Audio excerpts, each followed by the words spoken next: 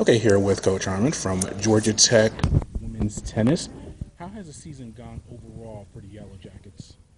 You know, it's been an interesting year. We struggled a bit in the beginning of the year, and I think we got momentum as we got going. And we won 11 of our last 13 matches uh, going into the ACC tournament. So I felt like we had a lot of confidence going in. I felt like we played pretty well at the ACC tournament as well. And speaking of the ACC tournament, made a run all the way to the finals. You beat several good teams there. You start off as a six seed and, and you know, beat some good opponents. How does that help you prepare for the NCAA? Does that give the, the women some confidence heading into Gainesville this weekend? You know, I think so. I think we the thing is we have played such a tough schedule that we play so many good players and so many good teams that once you really get on a roll, as we were able to do at one point, you do get a lot of confidence. I think you know, we were playing very well going into the tournament, the ACC tournament. We played very well there. Unfortunately, uh, as all this goes out, we had finals, which kind of stop everything for a minute. So you're trying to get yourself back and trying to get back out and trying to get yourself ready to go. But I think we're starting to get ourselves ready, and it's going to be tough. We play Wichita State on uh, Friday, so we've got to be ready to roll on Friday.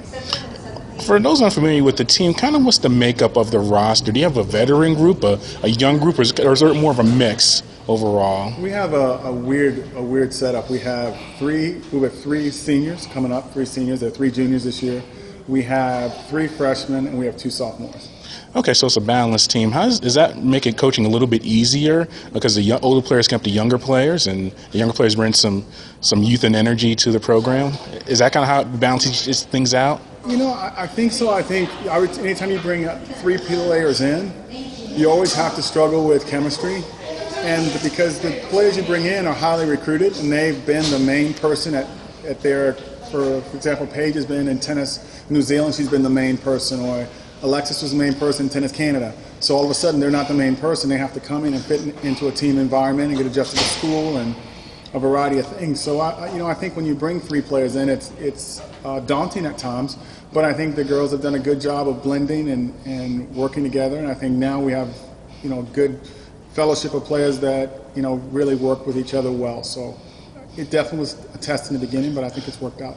You mentioned finals and having to get them back going again, and obviously you play I think four matches in four days that ended up working out for the ACCs.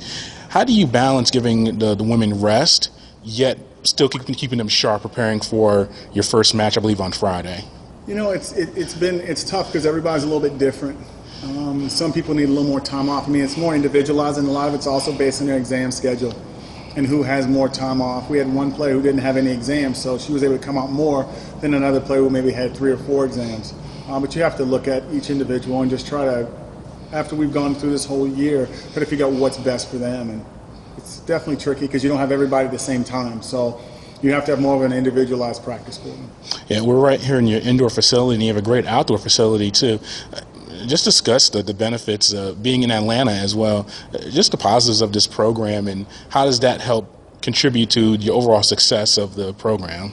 Well, Georgia Tech women's tennis is a great history, and, and you know my friend Bryan Shelton said before, and they've won you know four ACC titles and two national indoor titles and a, a national title, and they had a, a singles winner from the NCAA, singles champion, and a ton of All Americans. So people around the country know Georgia Tech tennis on the women's side for all the success they've had, and we're just trying to build on that the success they've already made. So our girls have a lot to live up to. Yeah, and lastly, you said have Wichita State and uh, some other tough teams in your region. What are some two or three things teams have to do well this weekend to emerge as a winner and move on to the next set of contests? Well, I, I think one of the things we've got to do, we've got to be willing to, to play rallies. Um, it's going to be like 90 degrees down in Gainesville, and it's going to be pretty humid. So we've got to be able to use our ability to be consistent be able to move the ball around, to cut down on unforced errors and first and second ball errors, and then look for opportunities to attack because we're really more of an attacking team. So really try to finish strongly at the net and um, hopefully serve well because we have a lot of good servers on our team. So hopefully we serve well as well.